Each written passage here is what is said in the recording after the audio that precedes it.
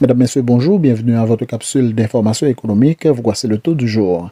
Le taux de référence de la BRH pour la journée du 10 janvier 2024 est de 131 gourdes, soit 156 pour 1 dollar. Le taux moyen d'acquisition pour la même journée est de 132 gourdes, 24,28 pour 1 dollar.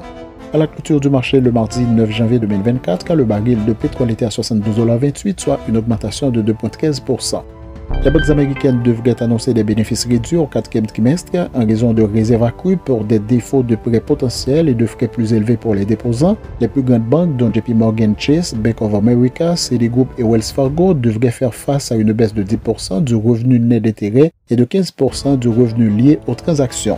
Les bénéfices par action de Bank of America, Citigroup et Morgan Stanley devraient chuter respectivement de 23, 25 et 17% tandis que JP Morgan et Goldman Sachs pourraient connaître un déclin de 3 et 2% les actions jamaïcaines ont connu une deuxième année consécutive de déclin en 2023, perdant près de 90 milliards de dollars jamaïcains de valeur sur les marchés principaux et secondaires. Il s'agit de la plus grande perte combinée enregistrée par la bourse de la Jamaïque depuis 2020. Les facteurs contribuant à cette baisse comprennent une inflation élevée et des taux d'intérêt incitant les investisseurs à se détourner des actions au profit des placements à revenus fixes et de l'immobilier.